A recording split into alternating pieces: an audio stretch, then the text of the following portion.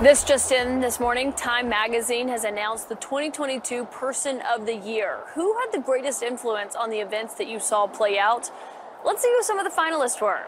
Elon Musk, Chinese President Xi Jinping, protesters in Iran, Florida Governor Ron DeSantis, Congresswoman Liz Cheney. But the winner is Ukraine's President Zelensky, now battling his 10th month of war against the Russians ever since Putin invaded his country.